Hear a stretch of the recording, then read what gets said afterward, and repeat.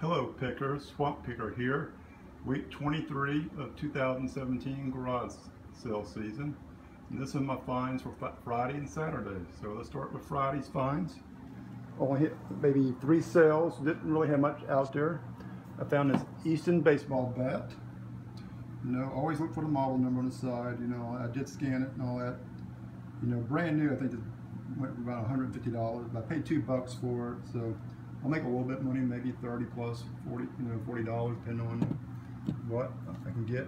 And another little trick also I do is put some ram wrap on the handles. So a couple of these baseball bats I have bought in the past, and they really make your hands dirty and you ship it, you know, and all that, you know, stayed in there and needs a new grip or something like that. But you know, that keeps it from um, getting your hands all messed up.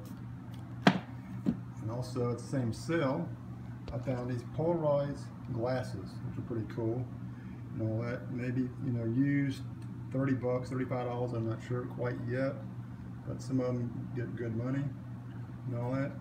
And another little trick, um, in the past I bought items like this, the sunglass case. Bought this maybe six months ago or something like that, which will make it add a little value to the sunglasses being in the case because then they would be protected when it's shipped. And I only paid 25 cents for it, so add that to the sunglasses, know, it'll really help out. And another item I found. Let's see, past that. It's this book. Found that Friday in the neighborhood sale. No, not far from me down the road. Has like 1,300 pages on it. What's crazy, when I scanned the barcode, it showed like 150 bucks. But when you put it on like a PC computer, $45 and all that. But still, for a buck, you know, I can't go wrong with that. And that was on my Friday sale there and all that. Okay, for Saturday, the first stop, and all that, I found this Nintendo 64, which is right down the road, not far, maybe a mile and a half down the road from me. This Nintendo 64 with two controllers and all that. And all that. I bought that and actually went, came back, to, went to another sale and bought this here for 25 cents, a Harley Davidson from Lincoln Mint. Opened the box up and all the parts were there and all that, instructions, and all sealed. Now it was crazy when I bought this printer and all that, it was actually in a Canon box. It felt pretty heavy and all that. I could see the styrofoam and the paper and all that, but, but I did not open it up. Always open it up, but I only paid two bucks for it. They had three dollars and offered two bucks for it. I don't even know she knew what was in there.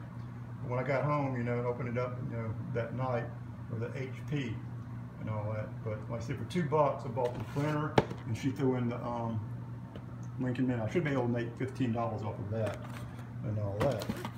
So when I start, you know, I didn't buy this at the first sale, but I remember it was a Dreamcast, so I checked it out and all that on my um, phone while I was in the parking lot at the second sale and all that, and I went back and bought it and all that. But you know, I saw this the first time, all these camera bags, and really didn't you know mention it and all that. And I actually threw a camera bag in when I bought the Dreamcast and all that. And they were acting like five dollars a piece. But um, there were like 22 bags, and I got all 22 bags for 50 bucks. So maybe two dollars and 50 cents or 65 cents on average. So I should do good with the camera bags, and all of them have the tags on them. All 20, you know, bags. So I, they range from 24 to 29.90 average, and there's a couple in there camera shops actually selling those, and all that. And another item I bought right across the street. You know, it wasn't much. It's these shoes right here and they're made by um, Red Wing, and they are Irish setter, in a size 12, like boat shoes and all that. I just need to kind of clean all the rocks out and all that. You know, you kind of see the rocks down there.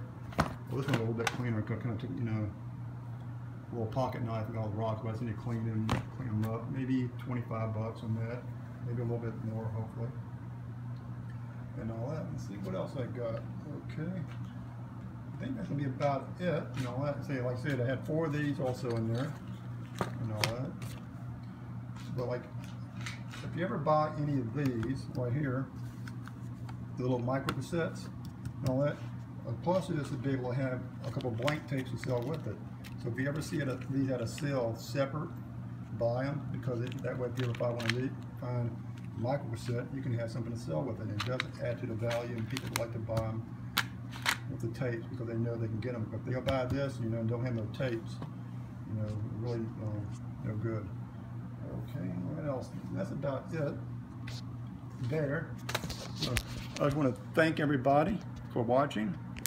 Hit the like button if you like it and all that, or if you got any good comments, leave them, maybe to help me out, or on the items you see.